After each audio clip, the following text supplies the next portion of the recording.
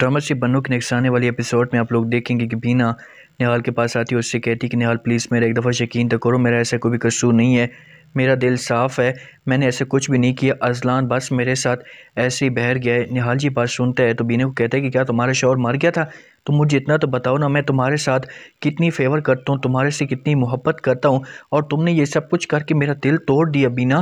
بینا، اب تم یہاں سے چلی جاؤ اور بہت جلد میں رمشا کے ساتھ شادی کرنے والا ہوں۔ بس مجھے سزا جو ملنی تھی نا، مل چکی ہے۔ بینا اسے کہتی ہے کہ نہال ٹھیک ہے، آپ کی اپنی مرضی ہے، لیکن اتنا یاد رکھنا کہ میرے دل میں تمہارے علاوہ کوئی بھی نہیں ہے۔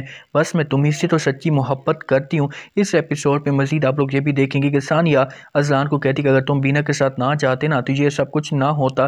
اور بینا کی زندگی برباد نہ ہوتی۔ ازلان یہ بات سنتا ہے تو وہاں پر ثانی کو جواب دیتے اور اسے کہتے کہ میں کیا کرتا، اس کے ساتھ کون جاتا؟ پھر بتاؤ نا تم، تمہاری ماں بھی اس کے ساتھ اتنا برا سلوک کرتی ہے اور کوئی بھی نہیں تھا اور وہ تنہا اور اکیلی رہ چکی ہے۔ اگر میں اس کے ساتھ چلا بھی گیا ہوں تو اتنی بری بات کون سی؟ اور مجھے خالو جان نے یہ سب کچھ بولا تھا، اسی وجہ سے تو میں اس کی حفاظت کر رہا ہوں۔ ثانی اس سے کہ ٹھیک ہے، تم حفاظت کرتے رہو، لیکن اب دیکھا نا اس کا گھاٹ تمہاری وجہ سے برباد ہو رہے۔ اتنا تم یہ سب کچھ دھیان سے دیکھ دیکھ لو